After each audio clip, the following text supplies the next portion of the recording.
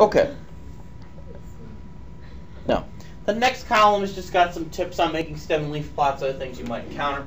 Obviously, for a two-digit stem and leaf plot like we just did, the first digit goes in the stem, the second in the leaf. That's nothing new. With three or more numbers, we put the most consistent data in the stem. Now, you can look at a, a different set of three-digit numbers and go, okay, I'm going to put the first number in the stem and the second numbers in the leaf. On the other hand, I might look at it and say, I'm going to put the first two digits in the stem and the last number in the stem. Neither is necessarily wrong.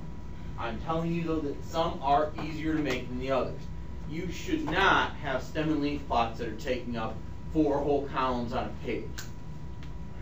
So for some reason you're getting really long stem and leaf plots, reconsider your stem.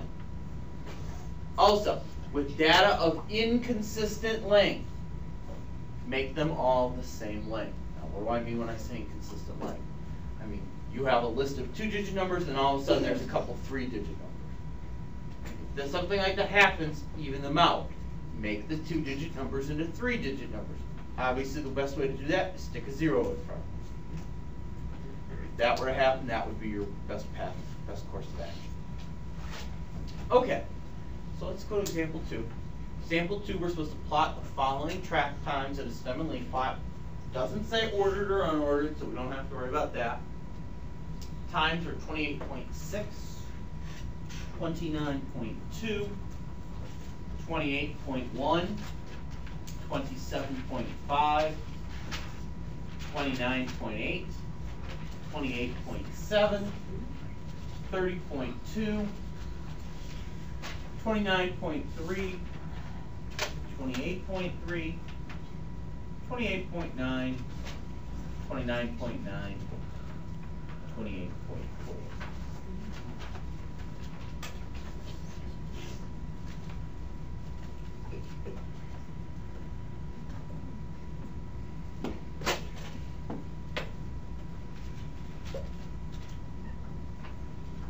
Now, some of you are looking at that set of numbers and saying, oh, okay, that's easy. Everything starts with a two or a three. Yes, you are correct. And that is one way you can go for the stem and leaf plot. It's not going to be a very long list vertically, but you will have a lot of numbers horizontally. I suggest you reconsider. The way I look at this, I say, okay, I see that all the numbers start with 27, 28, 29, or 30. So basically I'm looking at the numbers in front of the decimal. And that's what I'm going to put in my stem. Again, you could just do 2 and 3, but the list will be longer going this way, horizontally. And it doesn't say anything about ordered, so we don't have to worry about that. So we can go right into making the stem and leaf plot. Okay, so I've got 28.6, 28 goes 6. 29.2, next to the 29 goes a 2. 28.1, next to the 28 goes a 1. 27.5, next to 27 goes a 5. 29.8, next to 29 goes an 8. 28.7, next to 28 goes to 7. 30.2, next to 30 goes to 2.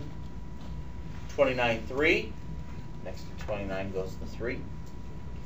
28, 3. 28 goes to 3. 28.9. Next to the 28 goes a 9. 29.9. Next to 29 goes a 9. 28.4. Next to the 28 goes the 4. And again, you do want to include a key here. You can fetch out whatever piece of information you want. I'm going to grab that piece right there and say that 29 bar 2 equals 29.2.